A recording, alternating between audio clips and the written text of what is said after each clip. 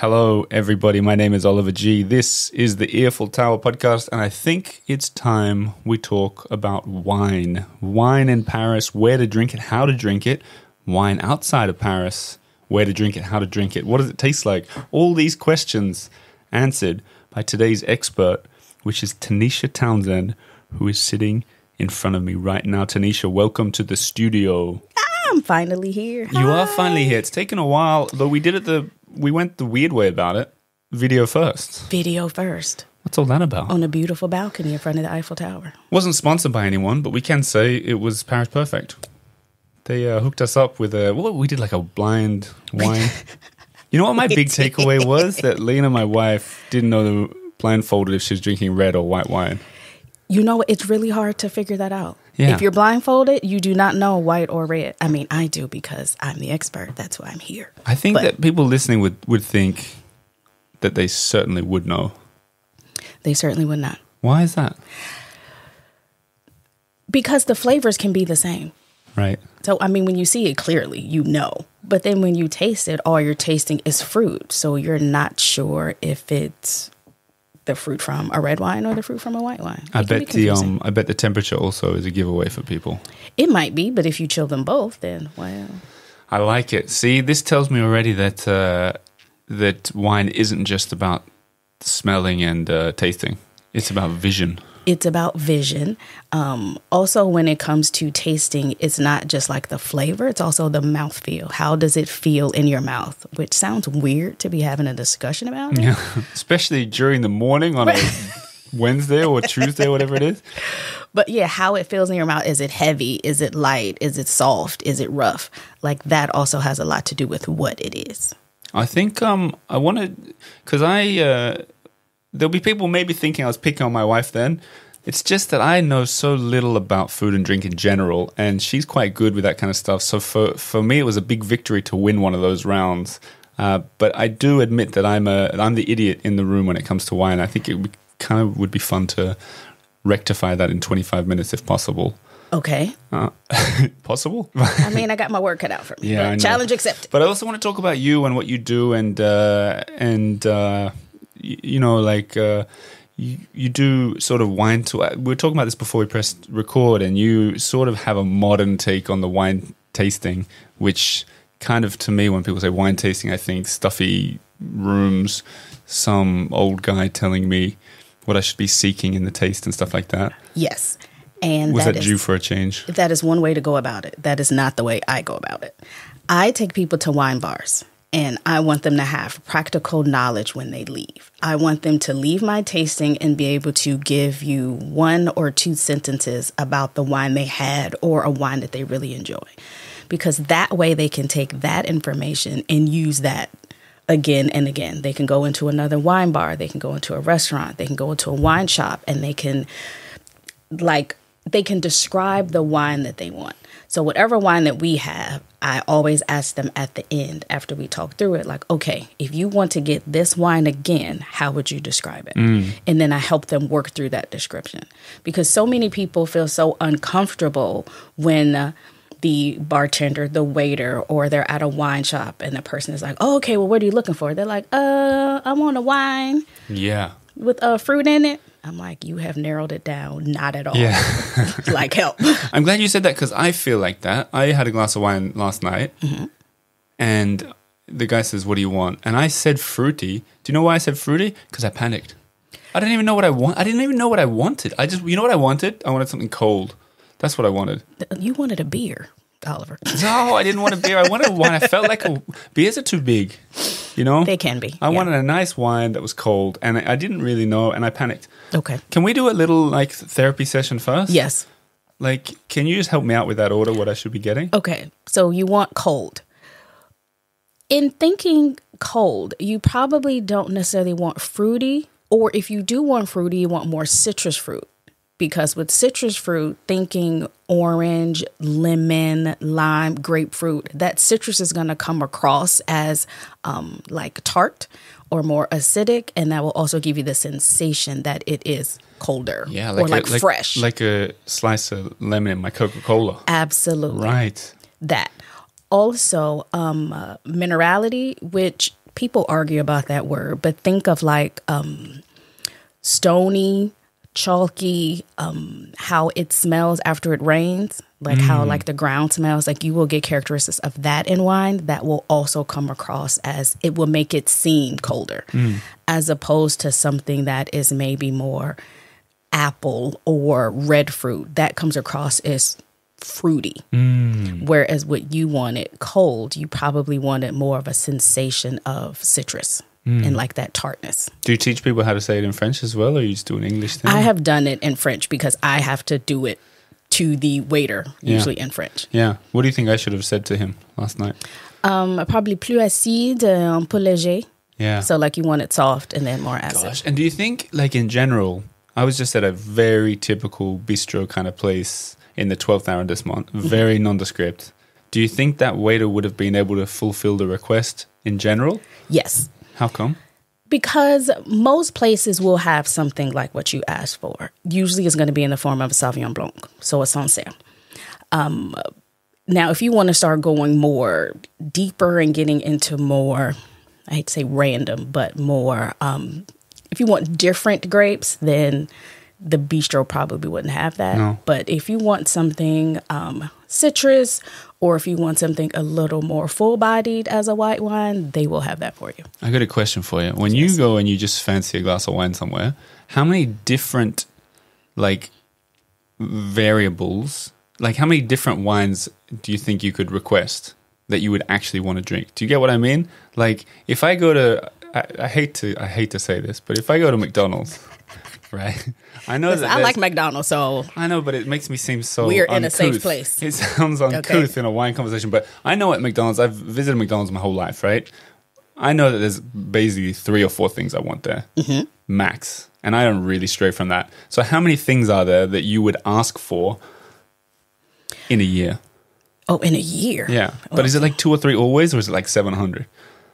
Probably closer to seven hundred. No okay, way. maybe not seven hundred, but like maybe ten white and red things that I know are good every time. Really? Now, veering off and say we're going to natural wine, then I never know what I want, and I just let them pick for me. What's the deal with natural wine? How much time do we have? We have one minute for that.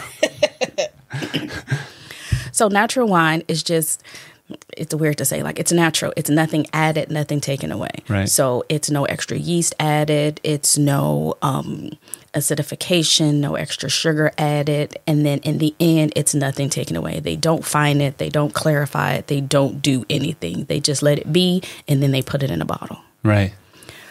Problem with that is, and problem put that in quotes. Sometimes I need the chemicals.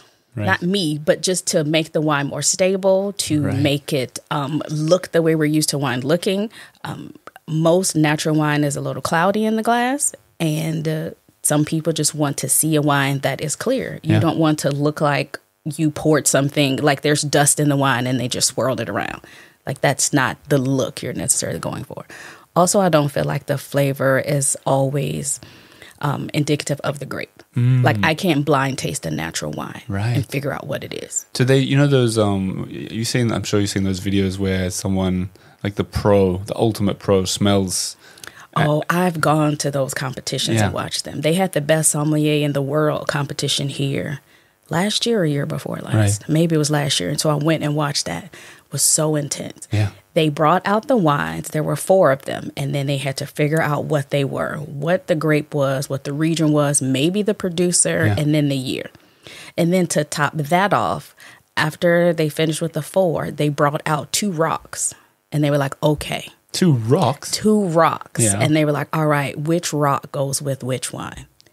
What? I was like, What do you mean rock? Like a like a round stone? like a round stone. They brought out a piece of rock. okay. And I think it was like schist and like maybe limestone. I was like, it? What the in the world? What happened? And so they were like, okay, let's go back and taste these. You can actually taste stone in wine. And that's kind of what I meant earlier when I said minerality. So, what the vines grow in, grow up through, and all of that, some of that flavor is imparted to the wine. So they go. So these guys go. Okay, They they took a look at the rock. Mm-hmm. They touch it, sniff it, anything like that. All of those Are you things. kidding? They t- put their tongue on it. No. So they looked at it. I, I would probably have to, but That's yeah. fascinating to me. How did that not I make it thought. onto social media? And it's on the video is on YouTube from the whole thing. I play it in classes now. I'm like, guys, look at this. Wow, that's really something. It was fascinating. It goes so deep. It shows that I'm uh, hardly scraping the surface with my. Uh, Yeah, and also I'm not sure I want to know wine like that because if I know intimate, it, isn't it is, and I feel like if you know it like that, then uh, can you really share it with other people that are just, you know, just learning? it also, I feel like it makes it hard to just have a nice glass of wine with a friend if you're thinking about licking the rock that it came from. That part you can't just enjoy it. You're swirling it, sipping it like. yeah. I get hints of. I'm like, I'm just with my girlfriends. I just want to have yeah. this glass and You know not what? worry if it's apple or pear. Like It, remi- whatever. it reminds me of they say you. It's really hard to watch a movie with a um, with like a special effects expert or something because they watch it and they go, "Well, that's not a real explosion, is it?" Be like, well, there's a hole in the plot. Yeah, yeah, yeah. Can you be quiet, please? Yeah, exactly. Just let me enjoy my fantasy land. Before we get into the wine tours that you do in Paris and beyond, there's something we chatted about before. You're like a triple threat of minorities. Yes. I'm curious about this um, because I want to know if it's a big deal for you, if it's something that you um, like, if it's something that's your strength, or if it's something you just push to the side and get on with. Uh, a little of both.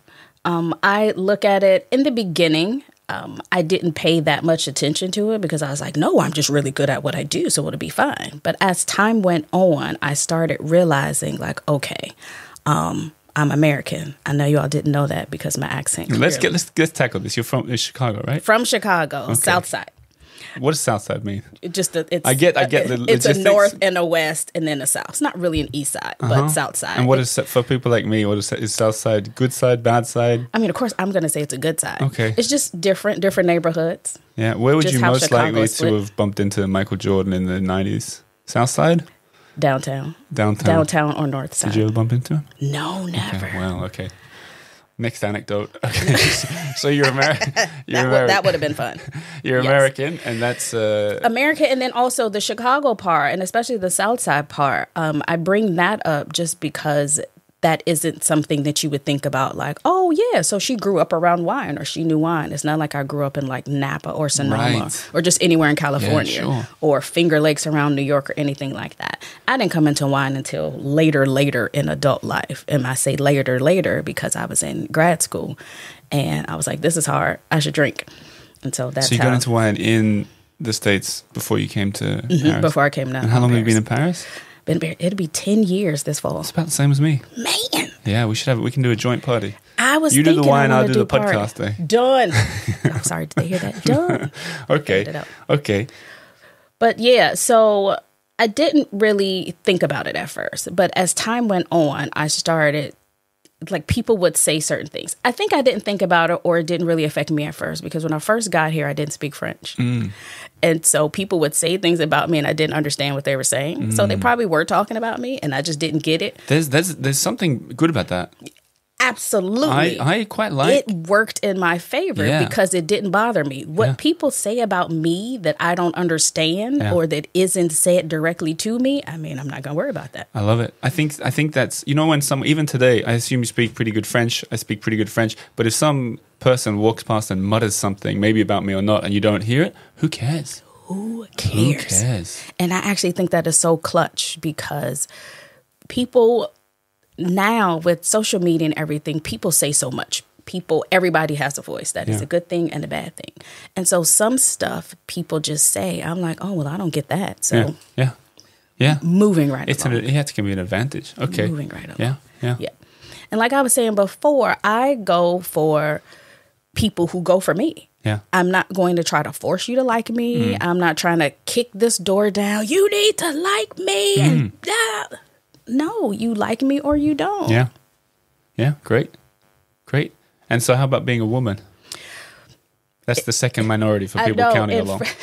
In, In terms of in terms of in terms of yeah, in terms of mostly dudes doing this. mostly job. dudes and mostly old dudes. Yeah. Um mostly white dudes. most- white old dudes. Yeah. Yeah.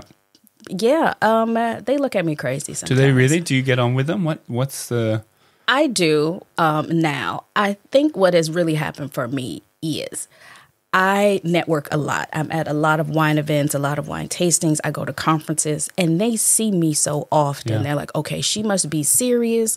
Or they saw me with someone that they know. So it's kind of like I got a cosign from that person. Right. And so that helped me out a lot. That helped me out and is helping me out Yeah. a lot by just knowing um, people Yeah. And showing up. and showing up Yeah. if you don't get anything else from this podcast, which I mean, I hope you do because we are talking about wine, Yeah. um, show up. Yeah. Show, sometimes it is just showing up over and over and over again. So show up at the wine shop. Mm. And what about uh, how many black people are doing wine in Paris? Oh, it's not that many. I'm starting to know more because I actively look for them. But yeah, it's still not that many. Um, I don't know why that is the case here. I think um, there may be a few factors uh, that come into play with that. That um, that seems like more. If you get into wine, usually you start in a restaurant, Yeah. and so that's more service, and people aren't necessarily interested in service jobs, or they get stuck in the service part and never get to the wine part. Yeah.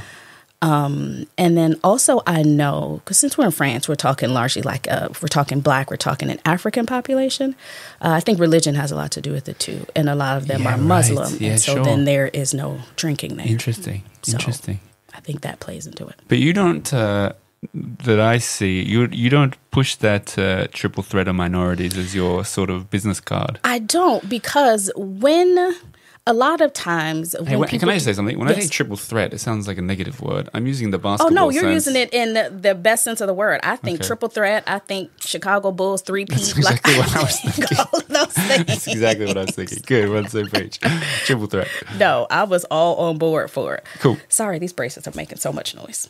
That's all right. It's, it's just like a wine. Uh, It is. podcasters sound. People are visualizing the bracelets now. They're on the table. Right Okay. now on the table because So- I'm moving hands. So it's not your calling card. It's uh, no, it's not my calling card because when uh, a lot of times when people try to push that and be like, "Oh, well, what about this?" and then that's all they talk about. I'm like, just let me be the expert that I. Yeah, am, cool. and not me just have this conversation about diversity or Hmm. mixing or anything like that. Just let me be the diversity. Perfect. Let me speak about what I speak about, and then. I mean, everything else will fall into place. perfect. Well, let's get on to the wine bars and what you do. Yes. You're not sitting in some dusty old. I actually like the dusty old caves. I do like a cough from time to time. Yeah, yeah. What do you say in English? It's not. It's not cave, is it? You can't say cave. I'll come take you into the cave for some wine tasting. Cellar, cellar, Cellar. Yeah. I didn't even know the word. Yeah, I was I like, what is what is the English word? Because I speak French Yeah, now. So so what is the English word? Yes. But you're uh, you're more about going to cool new places and Cool new places, trying out wine bars, taking people to wine bars, just so they can um I just want them to be able to put what they learn into practice like immediately. Mm. So can you walk also- me through what one of your um, wine tours is like? Sure. I will have them meet me. Um, usually people take taxis now, which that's a conversation for another day. so they just show up right at the wine bar, Right. depending on which one we go to. Yeah.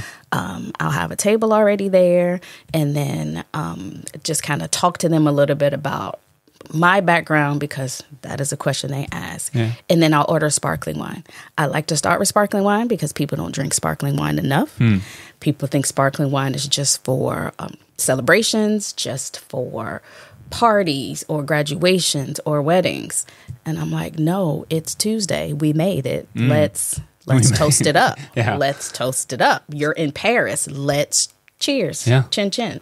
And so we do that. I talk them through uh, some flavors. I have an aroma wheel that I bring out so we can speak specifically to what do you taste? What do you smell?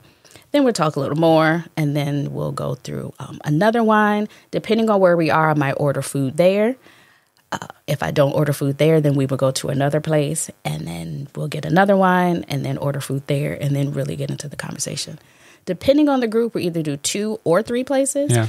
And why it depends, some people get to the second place now, we love it here, we're staying. Yeah. Okay. Because I imagine they're not spitting out the wine that they're tasting. They're spitting nothing out. yeah, yeah, yeah.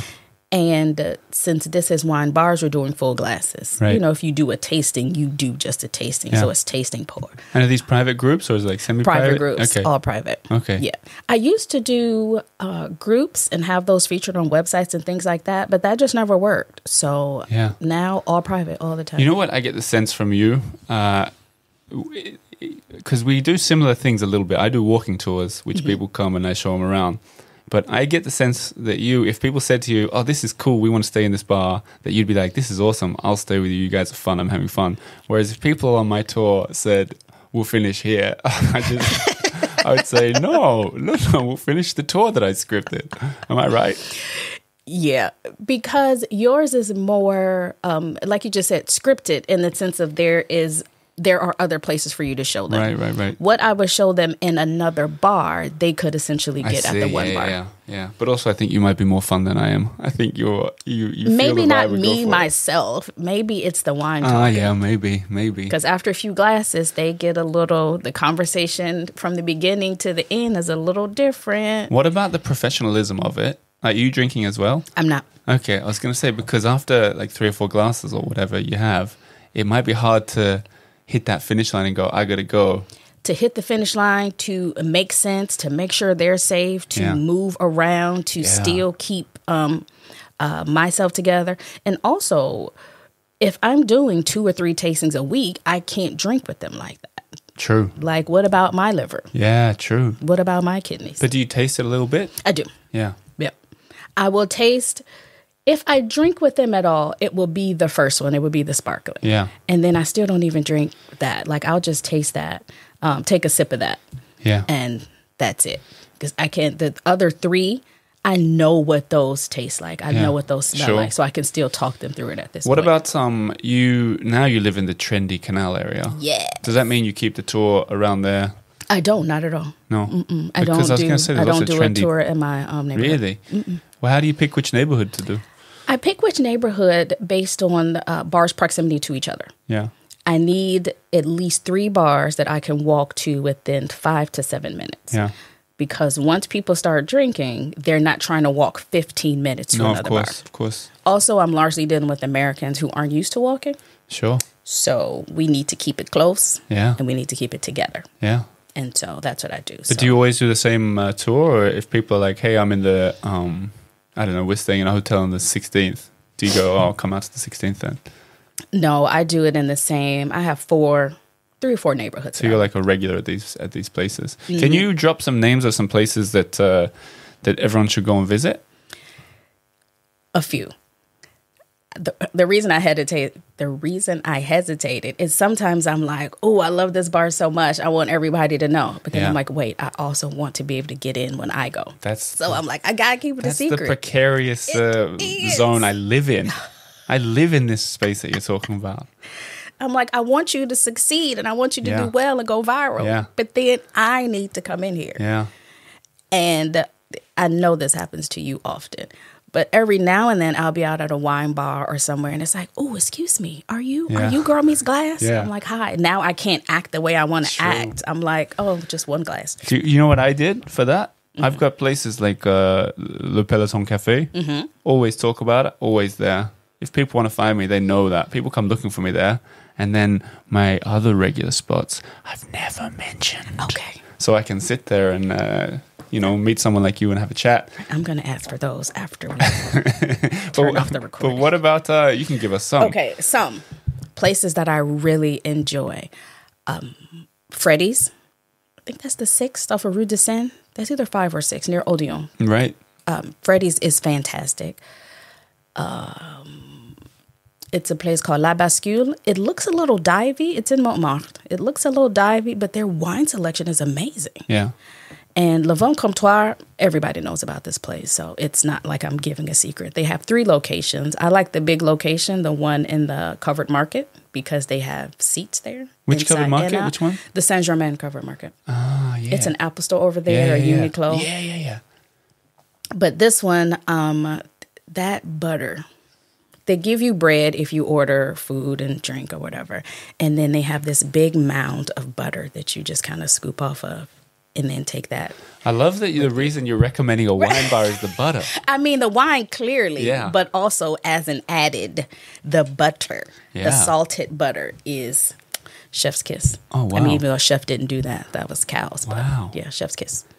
Um, Autour de Vin, which I really like, is near Gare du Nord. So if people are catching the Eurostar or they're just around that area, I think that's the ninth. You really take us all over town right now. It's yeah. great. How do you know? That's you've given us four. Can you give us one more? Or am I pushing my luck? No, you're not. I'm trying to think of one other place. Another place that's um, actually kind of new. Uh, went there last week. It's called Juicy Cave. It's natural and it's um, in the 10th, not far from the canal. Okay, And perfect. so I, I I'll really be like sharing that place. those addresses with everybody, uh, as well as links to, to your stuff. I'm curious about when you go, like when you're out looking. Let's say you haven't read something online, you're just looking for a, a cool place to have a glass of wine. When you walk into an establishment, how quickly do you know if it's got a good selection? Like, what's the telltale signs? I know pretty quickly. I will ask if they have. Um, sometimes I look at the menu because you know people have the menu outside. I'll look at the menu, kind of see what they have. I'll see what the seating is like. A lot of times, um, if I'm looking to just have a glass of wine, I don't want to go into like the wine bar restaurant where I know I have to order food. Um, I just want a place that has you know, the small tables with the high chairs. I know that's going to be a place I can just go in and get a glass Right. and then leave. So Yeah. I can tell by the way it looks. Wow. Um, if they have Never thought about that. if they have the glasses and the napkins and the forks out, the Yeah, fork and knife yeah. out, I'm like, no. I, But is there like a wine that if you walk in and you say, "Hey, do you have X, Y, Z?" and they say yes, you go, "Oh yeah, I'm onto something good," like the secret wine. No, because places are so different here based on what they have. Uh, depends on where the owner is from. Uh, Depends on what the owner likes. Like some owners are from, say they're from the south and they're from the Rhone Valley, so they will have a lot of wines from the Rhone Valley. They're from Burgundy or from North, they will have a lot of wines from that area. So it all depends. Can I ask you a, a question that has a half an hour answer, Okay, I'll but try to answer the half a minute answer? Okay, thirty Why- minutes to thirty seconds. Why do you like wine so much? I think it's gonna take me 30 minutes to figure it out. Um, to give like a concise answer. Yeah. I enjoy wine so much because when I came to know about wine, I came to know it from the taste, but then as I learned about it, understanding how it's made, how it depends on the soil and the sunlight and the rainfall and the slope of the land. Not even so much winemaker intervention, but with all of those other things to go into it to get you this bottle and this glass. All of that is fascinating to me. Mm-hmm. It's not like orange juice where orange juice is going to taste the same if I get oranges from Australia mm-hmm. versus California versus Chile. If I get a Cabernet Sauvignon from Bordeaux, from California, from Chile, they will taste different. Mm. And then if I get one next year, then that will taste different than the year before. Mm. That is so fascinating to me. A lot of depth. Yes. Yeah. Do you have the same approach to food? Some food. Yeah. I mean, of course, I have it to cheese now because we're in France. Sure. And if you don't like cheese, then, well, something wrong with you. Yeah. In this country. I'm not saying you No, yourself. no, no. Do you drink? Do you drink beer? I do. Yeah. But I don't like beer across the board. I mm. just like blonde or blanche. And what's your favorite? What's your go-to wine? Go to wine. If it's white and I'm out somewhere, Chenin Blanc. So Chenin Blanc from the Loire Valley. If it's red, and this also is for the listeners too, when they're just like, I don't know what I want to order. I just want to wait. A Cote de Rhone is going to work every time. I'm glad you said that because I just had a flashback to about eight years ago in this podcast. I had a French lady, who- she was a comedian, but she said to me, she, she was like, if you want to just seem a little bit more sophisticated, order Côte du Rhône and not Bordeaux. Yes. And I think I've been doing that for eight years. Just, it works. but I might do the same for wine. What did you say? Chenin, Chenin Blanc. Chenin Blanc. Okay. Uh, Because otherwise, people will say Sancerre, and then they'll be like, "Oh, are you American?" So like, Interesting. no, don't do that. Do a Chenin Blanc. Well, I propose two things. I propose you say the best place for people to follow you online and find out more about your stuff. What's that? That would be social media, Instagram, girl meets glass. Yep. And for Australia listeners, that's glass. Oh, thank you. Meets- gloss. Can you do Australian accent? That's gloss. Oh, you don't want to. You don't want to hear I that. kind of do. You don't. Girl meets glass. Girl meets glass on Instagram. Search Tanisha Townsend. I'll put links down below. Uh, and I would like to come on one of your tours. So I'm going to come and. Uh, Come and drink at a wine bar with me. no, I'd like. I think that'd be really fun. So we'll schedule. I'll try not in. to get you drunk. I don't mind. It's all right if it's for work. If it's part It's, of it's research. research, I love it. No, I'd love to come and do that. I think that'd be really fun. So that's something. Uh, I'll take lots of pictures and we'll make an evening out of it. Yes. Uh, but uh, there's lots more to talk about, so we'll have to have you back on the show at some point. oh, we're done. Yeah, time run. Look, 30 minutes has already passed. What? Yeah, I told you it'd go quick. All right. That Is there something that you wanted to say that you didn't get a chance to? I mean, I always have things to say. Well, that just means we need to have a part two. part two. Part two. Part two on location. That's what I like to hear. Tanisha, with thank them. you for coming on the Earful Tower, and uh, thanks for teaching me so much about wine. Thank you. It was And- a pleasure. Well, the pleasure was mine. And I'll just round things out by saying uh, if you want to find Tanisha, Girl Meets Glass is the name of the social media. I'll put links so you can find her tours in the show notes below. Uh, as for this podcast, The Earful Tower, if you enjoy it, if you want to get more from it, uh, become a Patreon supporter and keep these wheels spinning around. Patreon.com slash The Earful Tower. You probably noticed there's no ads on this episode. That's the only ad become a Patreon member, and of course, check out Tanisha for more about wine. Thanks for listening. I'll be back again next week with another episode. My name's Oliver Gee, and this is the Earful Tower Podcast.